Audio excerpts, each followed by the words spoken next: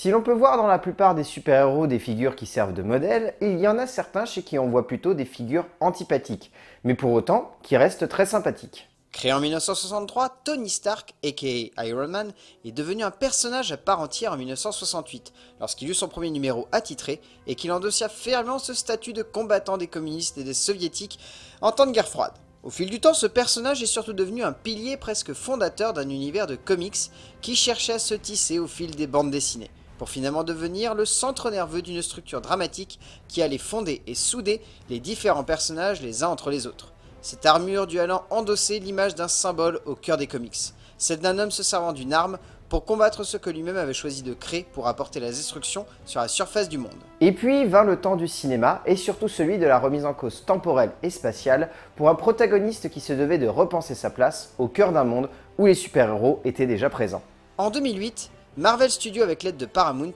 décida de porter à l'écran le personnage de Kirby et Lee pour une adaptation cinématographique plus proche d'une image moderne que de celle originelle de super-héros milliardaires, car on peut dire ce que l'on veut,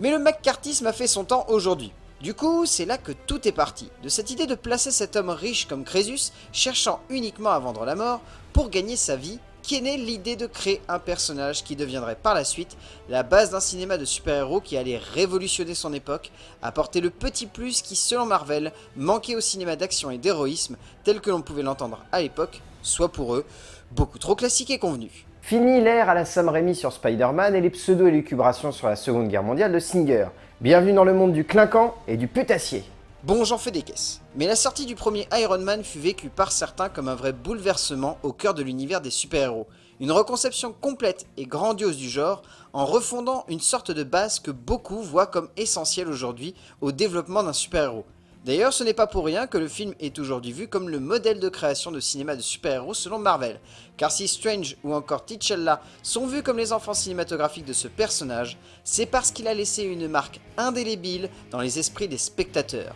Une marque qui est aujourd'hui presque le fondement de près de 10 ans de cinéma de super-héros. Il fallait donc des réalisateurs à part pour diriger ces films, des auteurs qui parviennent à capter l'essence même du personnage et ne pas en faire une coquille vide. Trois films dirigés par deux auteurs aux ambitions extrêmement éloignées, mais finalement proches dans le regard qu'ils portent sur ce personnage et sur l'image qu'il se devait de renvoyer aux yeux des spectateurs. John Favreau, auteur jusque-là surtout de comédie, a su justement mélanger les genres pour emmener le personnage dans ses retranchements et créer ainsi un héros à mi-chemin entre le sidekick rigolo et le personnage hyper charismatique, ce qui permit alors au cœur d'un premier film d'ériger un personnage à la fois mythologique et terriblement clonesque également. Le second métrage est un petit fiasco dans son genre, car Favreau a souhaité absolument refaire la même chose que le premier, mais sans cette efficacité et ce génie qui aurait pu amener ce personnage dans ses retranchements,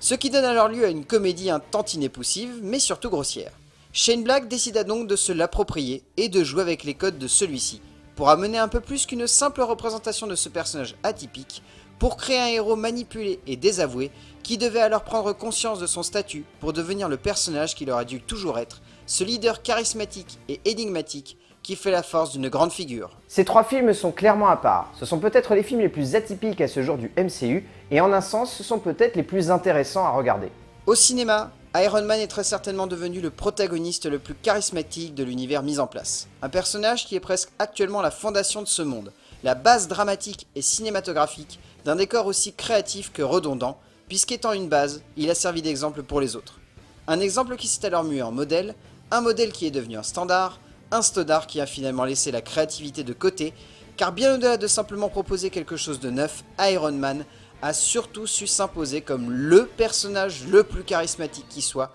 par le biais d'un jeu élégant et surprenant entre comédie et film d'action pure. Un mélange qui sert même de modèle à d'autres métrages de cinéma aujourd'hui, super-héroïques ou non d'ailleurs. Tony Stark est l'image de l'homme qui a réussi, et Iron Man est finalement l'image du super-héros qui a réussi à mettre cet homme de côté pour le bien de tous.